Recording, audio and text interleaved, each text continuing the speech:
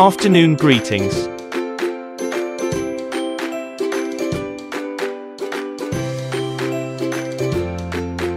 Good afternoon. My name is Nellan. We say good afternoon after 12 noon.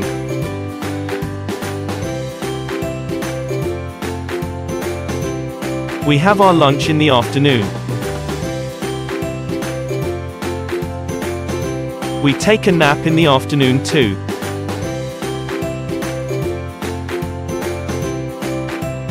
To nap means to sleep for a short time during the day.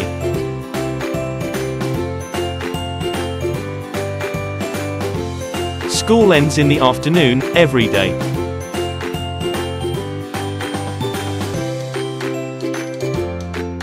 We say goodbye to our teacher when school ends in the afternoon.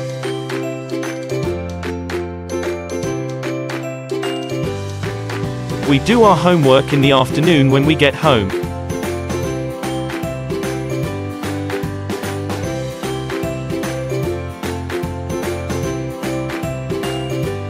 We are done.